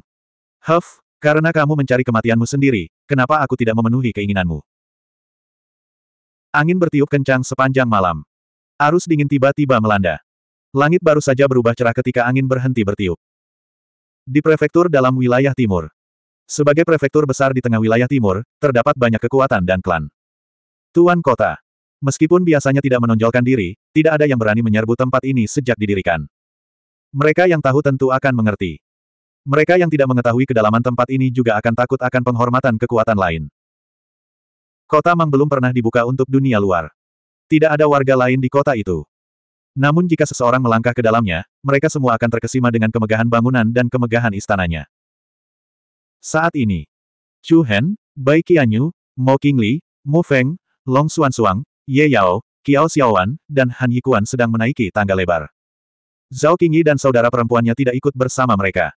Chu Hen telah memerintahkan mereka untuk tinggal di kota Kun untuk menjaga King Sui. Adapun Hao Xi, dia masih berada di negara seratus kerajaan, jadi dia tidak bisa ikut bersama mereka. Di antara delapan orang, hanya Chu Hen, Bai Qianyu, dan Mo Qingli yang merupakan Raja Suci Agung, sedangkan lima lainnya adalah Raja Suci. Selain itu, jumlah pembangkit tenaga listrik Great Saint King Stage di kota cahaya pasti tidak akan kalah dengan jumlah di Istana Dewa Perang. Apalagi ada Namong Guangtong yang sudah menjadi Kaisar Semu. 1529. Kota Manusia. Istana itu mewah dan megah. Struktur bangunan di dalam dan di luarnya sangat aneh. Dari luar ke dalam berangsur-angsur bertambah dalam bentuk tangga. Dari jauh, itu tampak seperti benteng pusat yang ditopang oleh bintang-bintang. Saat ini, di platform Zen di alun-alun pusat kota Mang. Sosok parubaya yang tampak seperti seorang raja sedang duduk di kursi lebar. Dia berpakaian mewah, memiliki mulut persegi, hidung bengkok, dan sepasang mata segitiga yang memancarkan cahaya tajam. Di permukaan, orang ini adalah gubernur kota Mang, namun kenyataannya, dia adalah wakil pemimpin klan dari suku Light Saint. Dia adalah seorang penguasa dengan kekuasaan tertinggi. Pada saat ini, di bawah senyuman lucu Namong Guangtong, beberapa sosok muda secara bertahap berjalan dari Sky Stairway Avenue ke alun-alun. Mata banyak orang di belakang Namong Guangtong menggigil saat melihat pendatang baru itu. Mata mereka dipenuhi cahaya dingin. Saya Chu Hen. Salam, Gubernur Kota Namong. Dia tidak sombong atau rendah hati. Chu Hen berjalan ke Namong Guangtong di tengah platform Zen dengan tenang. Dia sedikit menangkupkan tinjunya dan membungkuk dengan tenang. Tatapan Namong Guangtong menyapu Chu Hen dan beberapa orang di belakangnya. Aku sudah lama mendengar namamu. Senang bertemu denganmu. Gubernur Kota Namong, Anda terlalu baik. Saya datang tanpa diundang tanpa membuat janji. Mohon maafkan saya jika saya mengganggu Anda. Tidak, Namong Guangtong duduk sedikit dan mencondongkan tubuh bagian atas ke depan. Senang sekali kamu datang. Sesuai keinginanku. Sudah lama sekali aku tidak bersenang-senang. Oh, Chu Hen mengangkat alisnya dan tersenyum penuh minat. Mungkinkah Anda mencari saya, Gubernur Kota Namong? Hahaha, Namong Guangtong tertawa. Kemudian, matanya menjadi dingin saat dia berkata, mengapa kamu mencari saya? Haha, Gubernur Kota Namong, karena semua orang sudah mengetahui hal ini, aku akan langsung ke pokok permasalahan. Alasanku datang ke sini kali ini adalah karena Tuo Basa, yang dipenjara di penjara Skywell Kota Amang. Begitu Chu Hen mengatakan itu, penduduk kota Mang membeku. Keterus-terangan pihak lain agak tidak terduga. Namong Guangtong sedikit memiringkan tubuhnya dan mengepalkan jari-jarinya yang mengetuk tepi kursi lebar. Dia menatap wajah tenang Chu Hen, tidak mampu memahami pikirannya. Apa katamu? Saya tidak begitu mengerti, kata Namong Guangtong. Heh, senyuman menghina muncul di sudut mulut Chu Hen. Orang berstatus tinggi sepertimu juga suka berpura-pura. Tuan Kota Namong, tidak, aku harus memanggilmu pemimpin klan Namong. Pemimpin klan, Wajah Namong Guangtong tenggelam saat mendengar dua kata ini. Dia menatap dingin ke arah Chu Qinghe, penguasa kota Medical Saint City. Tatapannya kembali ke Chu Hen. Aku benar-benar tidak mengerti apa yang kamu bicarakan. Jika tidak ada hal lain, maafkan aku karena tidak menemanimu. Dengan itu, Namong Guangtong mengangkat tangannya dan memberi isyarat kepada orang-orang di belakangnya untuk mengantar para tamu pergi. Sepertinya klan Light Saint jauh lebih pengecut dari yang kukira. Anda sudah lama mencari benda itu. Sekarang saya sudah mengirimkannya secara pribadi kepada Anda, Anda tidak berani menerimanya. Nada bicara Chu Hen agak sinis. Mata Namong Guangtong menjadi dingin. Dia menatap mata Chu Hen yang dalam dan jernih dan berkata, apa yang kamu inginkan? Serahkan senior Tuoba, jawab Chu Hen. Bagaimana jika aku tidak setuju? Balas Namong Guangtong. Kamu akan setuju, kecuali kamu ingin semua hal yang telah kamu lakukan selama ini terungkap. Hahaha, Namong Guangtong tertawa nakal. Tawanya penuh dengan penghinaan dan sarkasme. Saya harus mengakui bahwa saya sangat terkejut dengan inisiatif Anda. Anda telah mengganggu semua rencana penerapan kami. Saya mengagumi keberanian Anda. Tetapi Anda lupa satu hal. Ini kota Mang, wilayahku. Begitu dia selesai berbicara, sosok dengan aura kuat tiba-tiba muncul di sekitar platform meditasi. Pada saat yang sama, tubuh Namong Guangtong memancarkan aura agung seperti gunung. Aku tidak bisa menyerahkan orang yang kamu inginkan. Dan tidak ada di antara kalian orang sombong yang bisa pergi hari ini. Begitu dia selesai berbicara, aura kuat yang bisa merobohkan gunung dan menjungkir balikan lautan langsung menuju ke Chu Hen. Huff, tidak jauh dari situ, penguasa kota medis Sein, Chu Qinghe, juga memiliki senyuman sinis di wajahnya. Chu Hen dan orang-orangnya sangat sombong datang ke sini secara terbuka untuk menanyakan orang yang mereka inginkan. Merasakan kekuatan domain yang kuat menekan mereka dengan cepat, Mu Feng, Long Xuan Suang, dan orang lain di belakang Chu Hen semuanya memasang ekspresi serius di wajah mereka.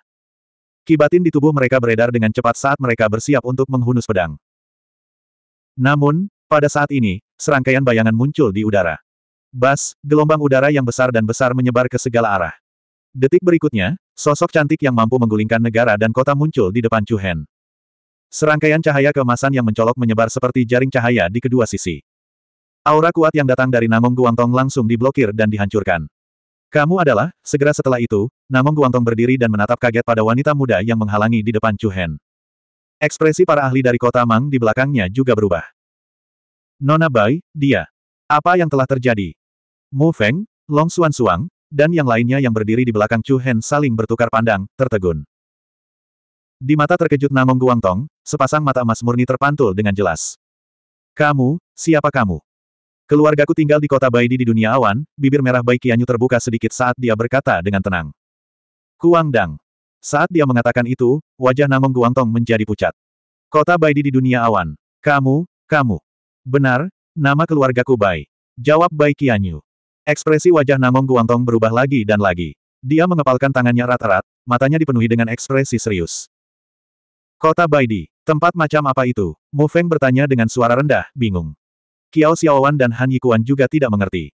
Sepertinya itu hanya gertakan. Namong Guangtong jelas tercengang. Dia berhenti sejenak, rasa dingin di matanya perlahan menghilang. Kemudian, dia menangkupkan tinjunya dan berkata, saya tidak tahu bahwa Nona Bai akan datang. Saya memiliki mata tetapi tidak dapat mengenali Anda. Mohon maafkan kami. Situasi seperti ini. Mu Feng, Kiao Xiaowan, dan yang lainnya membuka mata lebar-lebar. Itu tidak benar. Itu adalah ras Light Saint. Bukankah sikap Namong Guangtong berubah terlalu cepat? Long Xuan Suang dan Ye Yao bertukar pandang dan melihat keterkejutan di mata satu sama lain. Melihat Bai Qianyu, yang berdiri di depan Chu Hen, mata Mo Qingli dipenuhi dengan kerumitan yang tak terlukiskan. Tuan Kota Namong bersikap terlalu serius. Bisakah Anda memberi saya wajah dan menyerahkan orang yang Anda kurung karena kesalahpahaman terhadap kami? Bai Qianyu berkata dengan tenang. Ini, alis Namong Guangtong berkerut seolah dia ragu-ragu.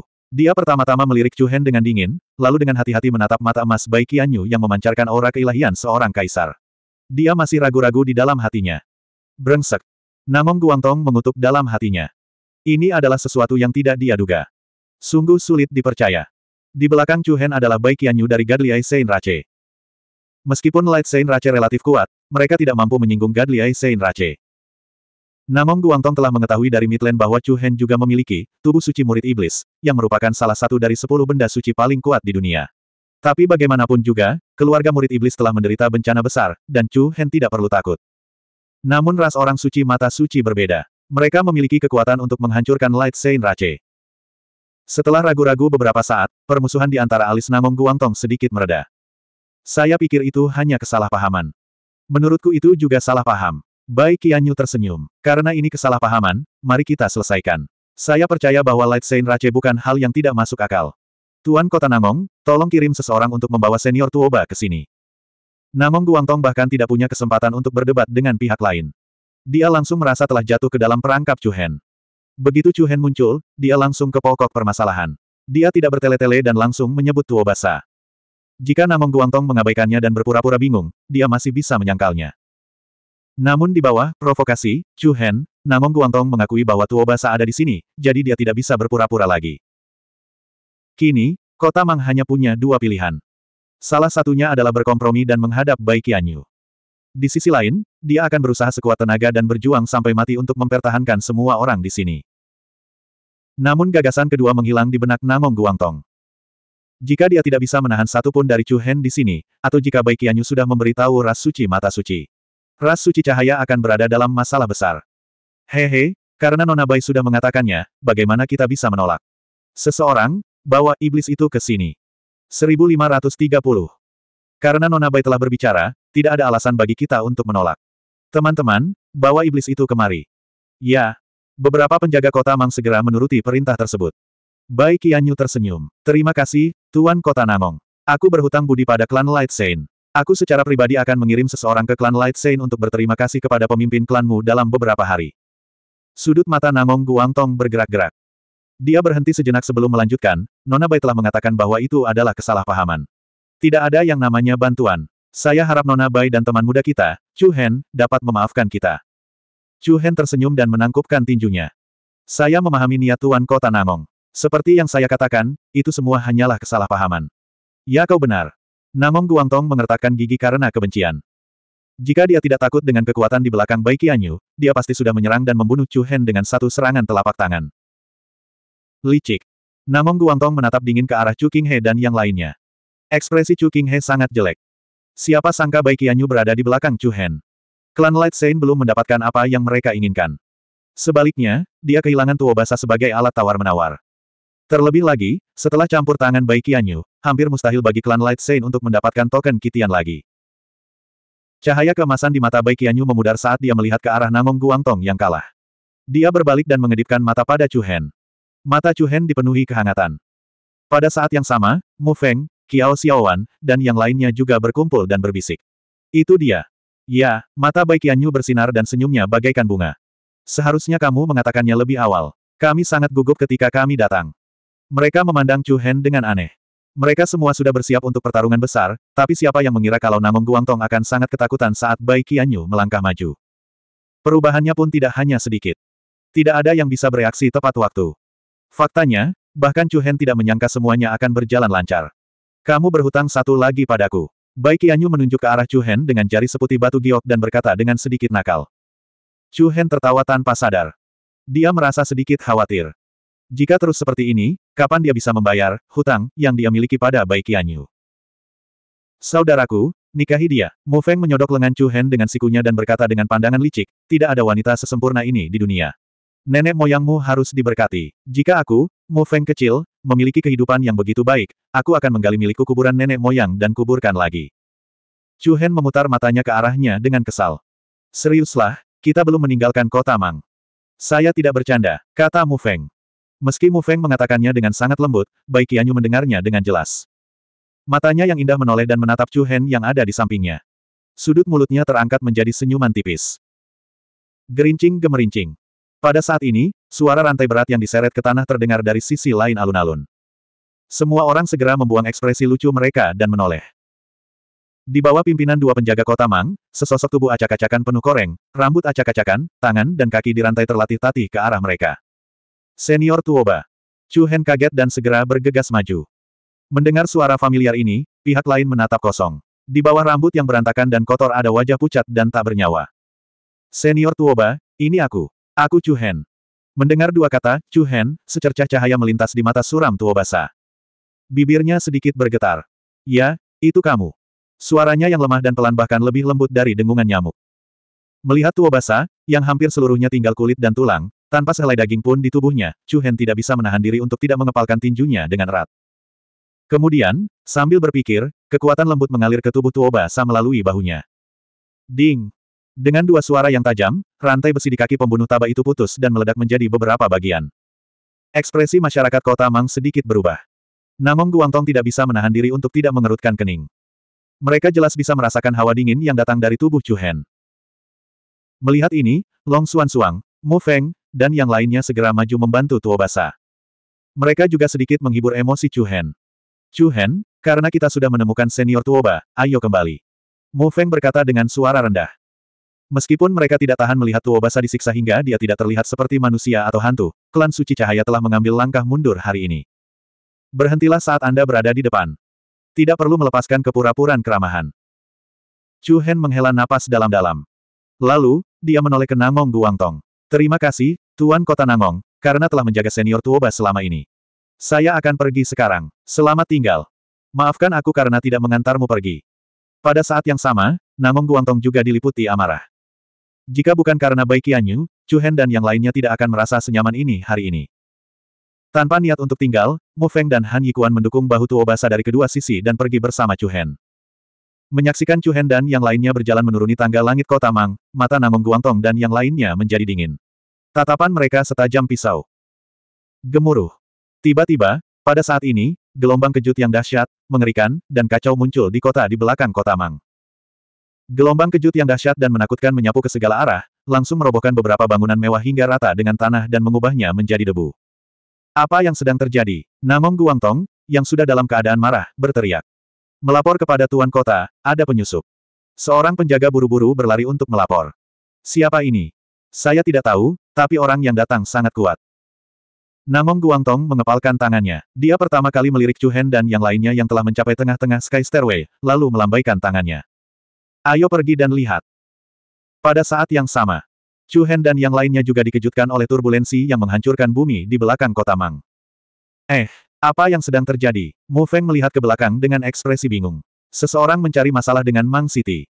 Saya kira tidak demikian. Jika mereka ingin membalas dendam, ini bukan satu-satunya keributan. Lalu apa yang terjadi? Jangan khawatir. Ayo pergi, kata Kiao Xiaowan. Chu Hen juga mengangguk. Ayo pergi. Yang lain tidak punya niat untuk tinggal dan mengamati. Bagaimanapun juga, mereka belum meninggalkan kota Mang. Jika Namong Guangtong tidak tahu apa yang sedang terjadi, dia akan tetap menyesalinya. Mengaum. Raungan naga yang keras dan berapi-api bergema di langit. Bayangan naga gelap sepanjang seribu meter muncul dari langit, membawa aura menakutkan saat menukik ke kota Mang. Langit dan bumi bergetar, dan sembilan langit berubah warna. Angin dan awan melonjak seperti gelombang pasang. Energi jiwa naga yang sangat kuat. Itu adalah seseorang dari klan suci darah naga. Baik Qianyu tanpa sadar berseru. Mendengar kata-kata ini, hati semua orang gemetar. Klan Suci Darah Naga. Salah satu dari sepuluh klan suci terkuat. Klan ini memiliki darah naga ilahi yang mengalir di pembuluh darah mereka. Mereka memiliki energi sejati sembilan naga dan memiliki aura penghancur yang sangat kuat. Chu Hen dan yang lainnya, yang tidak berencana untuk tinggal lebih lama lagi, menjadi lebih berhati-hati ketika mereka mendengar bahwa itu adalah klan suci darah naga. Kita tidak bisa tinggal di sini lebih lama lagi. Ayo cepat pergi, kata Han Yikuan. Mengaum. Di saat yang sama, bayangan naga yang ganas muncul dari tanah di belakang kota Mang. Di sisi lain, bayangan naga ini terbakar dengan nyala api putih dingin yang aneh. Bersama dengan api putih dingin yang seperti tsunami, bayangan naga yang menyala-nyala langsung menuju ke naga hitam yang menukik ke bawah. Ini. Mereka melihat bayangan naga putih. Ekspresi Long Xuan Suang dan Chu Hen berubah, mata mereka melebar. Keduanya melontarkan beberapa kata pada saat bersamaan. Sembilan jiwa naga segel. Segel naga sembilan jiwa. Itu adalah teknik budidaya yang diturunkan oleh keluarga panjang. Di dunia ini, hanya tiga orang yang mengetahui seni bela diri ini. Chu Hen, Long Xuan Suang, dan Long Qingyang.